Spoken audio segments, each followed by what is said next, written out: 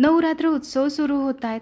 नऊ दिवसांचे उपवास असतात. यासाठी आवर्जून बनवला जाणारा हा पदार्थ म्हणजे चटपटीत आणि कुरकुरीत उपवासाचा चिवडा. आता हा उपवासाचा चिवडा बनवताना साबुदाणा जेव्हा आपण तळून घेतो यावेळेस तो आतमधून कच्चा राहतो. हवा तसा व्यवस्थित फुलत नाही यासाठी एक मस्त ट्रिक मी तुमच्यासोबत शेअर केलेली आहे. हा चिवडा मस्त कुरकुरीत खुसखुशीत आणि चटपटीत लागतो. यामुळे कितीही तुम्ही खाल्लात ना तरी आणखीन जास्त खावासा वाटतो. हा चिवडा मस्त चटपटीत लागावा म्हणून एक स्पेशल मसाला आपण इथे तयार केलेला आहे. आणि या मसाल्यामुळेच या चिवड्याची चव अगदी दुपटीने वाढते.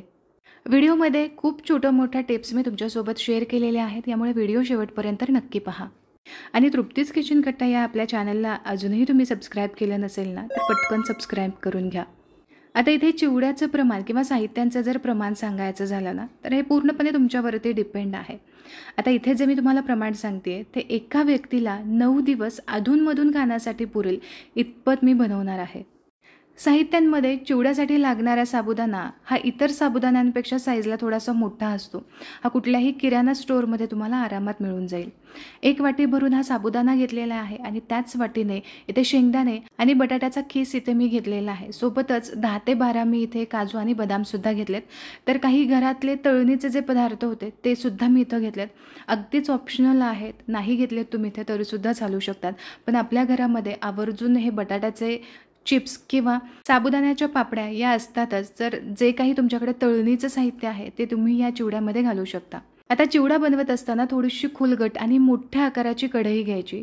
आता इथे हे तळणीचे साबुदाणे तुम्ही बघू शकता. हे रेग्युलर साबुदाण्यापेक्षा साईजला थोडेसे मोठे असतात.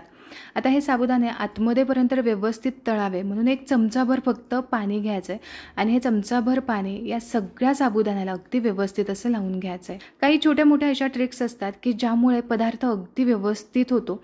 आता या एक चमचा पाण्यामुळे ना हा साबुदाणा अगदी आतमध्येपर्यंत व्यवस्थित असा तळला जातो. साबुदाणा तळून घेत असताना खूप छोट्या मोठ्या टिप्सकडे लक्ष द्यावे लागते. जसं की जेव्हा आपण साबुदाणा तळून घेत असतो यावेळेस खूप साबुदाणा हा फुलला जातो. तेल बाहेर पडलं जातं. यासाठी काय करायचं? कोणती ट्रिक वापरायची की ज्यामुळे तेल जास्त बाहेर पडणार नाही किंवा आपलं तेलसुद्धा खूप जास्त वाया जाणार नाही? आता तेल इथं हलकंसं गरम झालेलं आहे. यामध्ये आपल्या आवडीच्यानुसार किंवा तुम्हाला चिवडा किती तिखट हवा आहे यानुसार तुम्हाला यामध्ये मिरच्या घालायच्या तर काही मिरच्या मी अख्ख्या ठेवलेल्या आहेत पण त्याला मधून चीर पाडून घ्यायची म्हणजे मिरच्या इथे फुटणार नाहीत. आणि सोबतच काही मिरच्या मी इथे चिरूनसुद्धा घातल्यात. आता सगळ्यात आधी मिरच्या तळून घेण्याचं कारण हे असं. मिरच्या तळून घेतल्या की तेल थोडंसं तिखट होतं. आणि तेल तिखट झालं की इतर पदार्थांना सुद्धा हा तिखटपणा छान येतो. त्यामुळे आधी मिरच्या तळून घ्यायच्या. आता इथे मिरच्या चांगल्या कुरकुरीत होईपर्यंत मी तळून घेतलेल्या आहेत आणि एका मोठ्या परातीमध्ये मी काढून घेतल्यात. आता साबुदाणा तळून घेऊयात. साबुदाणा तळण्यासाठी एकदम हाताने साबुदाणा घालायचा नाही कारण तेल खूप गरम असतं. साबुदाणा थोडेसे जड असतात यामुळे हे पटकन वरती येतात आणि हाताला चटका बसण्याची शक्यता असते. साबुदाणा तळत असताना खूप तेल बाहेर पडतं किंवा चटचट असा आवाज येतो आणि तेल बाहेर उडत असतं. यासाठी थोडीशी अशी ढाल ठेवायची म्हणजेच अशी झाकणी यावरती धरली की तेल खूप जास्त बाहेर उडत नाही. आता अधूनमधून हा साबुदाणा मी हलवून घेतलेला आहे. आता इथे तुम्ही बघू शकता मस्त साबुदाणा फुलला आहे आता हा साबुदाणा या तेलामधून आपण काढून घेऊयात. दुसरी महत्त्वाची गोष्ट अशी की साबुदाणा तळून घेत असताना गॅसची फ्लेम नेहमी हाय ठेवायची. तेल चांगलं तापलेलं असेल तर मग साबुदाणे चांगले व्यवस्थित आतमध्येपर्यंत तळले जातात. यामुळे ही गोष्ट अगदी कटाक्षाने पाळायची. इथे तेल कडकडीत गरम असावं आणि गॅसची फ्लेमसुद्धा आपल्याला हायच ठेवायची आहे.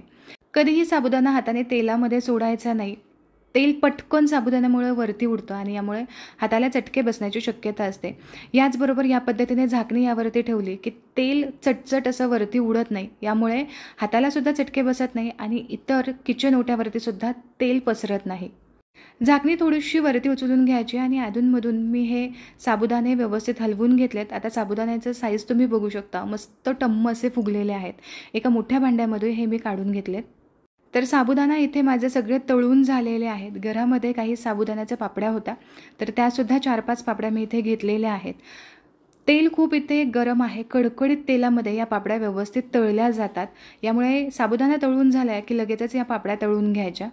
साबुदाण्याच्या पापड्या आणि साबुदाणा हाय फ्लेमवरती तळून घेतल्यानंतर गॅसची फ्लेम मिडियम ठेवायची. आणि मिडियम फ्लेमवरती आता इथून पुढचं सगळं साहित्य आपल्याला तळून घ्यायचं आहे तर आता इथे मी शेंगदाणे तळून घेत आहे. शेंगदाणे तळून घेत असताना सुद्धा आतमध्ये खरपूस तळेपर्यंत आपल्याला हे तळून घ्यायचं आहे आता हे तळले गेले आहेत की नाही? आतमध्येपर्यंत व्यवस्थित खरपूस झाले आहेत की नाही? हे कसं ओळखायचं? एक तर या शेंगदाण्यात डार्क कलर येतो. आणि दुसरी महत्त्वाची गोष्ट अशी की हा शेंगदाणा थोडासा फुलला जातो तर इथे तुम्ही बघू शकता. असे थोडेसे दोन भाग या शेंगदाण्याचे होतात किंवा यावरची सालसुद्धा थोडीशी निघाली जाते. तर यावेळेस समजून घ्यायचं की शेंगदाणा आतमध्येपर्यंत व्यवस्थित तळलेला आहे. आता इथे माझा शेंगदाणा तळून झाला आहे हा मी काढून घेते. इथे शेंगदाणे तळून झालेत. आता यानंतर काही ड्रायफ्रूट्स आपण तळून घेऊयात. पूर्णपणे ऑप्शनल आहेत. तुम्हाला आवडत असतील तर तुम्ही घालू शकता.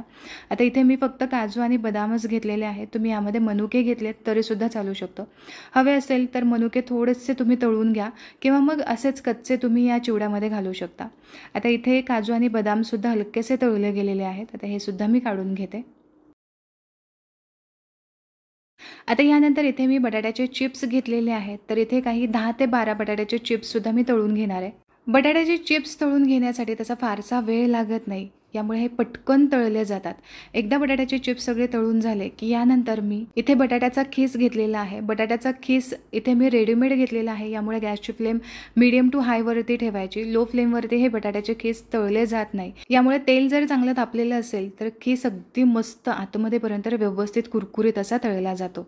आता इतर जर तुमच्याकडे तळणीचं काही साहित्य असेल उपवासाच्या चकल्या उपवासाच्या कुरडया किंवा उपवासाचे पापड जर तुमच्याकडे असतील तर ते जरी तुम्ही या चिवड्यामध्ये वापरलेत ना तरीसुद्धा मस्त खमंग असा चिवडा तयार होतो. आता इथे सगळं साहित्य माझं तळून झालेलं आहे एका मोठ्या परातीमध्ये मी हे काढून घेतलं आहे काही साहित्य यामधले बऱ्यापैकी थंड झालेले आहेत तर काही गरमच आहेत. आता पटकन चटपटीत असा मसाला आपण तयार करून घेऊ. तर यासाठी मिक्सरच्या भांड्यामध्ये आपल्याला दोन चमचे भरून साखर घ्यायची आहे. इथे मी चवीप्रमाणे मीठ घेतलेलं आहे तर आपण जे पापड्या वगैरे इथे तळलेल्या आहेत किंवा जे चिप्स तळले त्यामध्ये सुद्धा मिठाचं प्रमाण असतं यामुळे या अंदाजानुसारच इथं मीठ घ्यायचं आहे आता इथे दीड चमचा भरून मी लाल तिखट घेतलं आहे हे तिखटाला सुद्धा थोडंसं आहे आणि याचबरोबर रंगसुद्धा खूप चांगला आहे. यामुळे हेच तिखट मी इथं वापरलेलं आहे. तुम्हाला जर आवडत असेल तर तुम्ही इथं थोडीशी कश्मीरी लाल मिरची पावडर आणि वेगळं तिखट यामध्ये तुम्ही घातलं तरीसुद्धा चालेल. आता गोड आणि तिखट झालं. थोडंसं आंबटपणासुद्धा या चिवड्याची चव आणखीन दुपटीने खुलवतो. यासाठी एक अर्धा चमचा भरून मी इथं आमचूर पावडर घेतली आहे आता हे सगळे पदार्थ चांगले एकजीव होईपर्यंत आपण बारीक करून घेऊयात. किंवा जी साखर आहे त्याची अगदी पिठी साखर व्हायला हवी इतपत हे बारीक करून घ्यायचं आहे आता इथे तुम्ही बघू शकता मस्त चटपटीत असा मसाला इथे तयार झालेला आहे.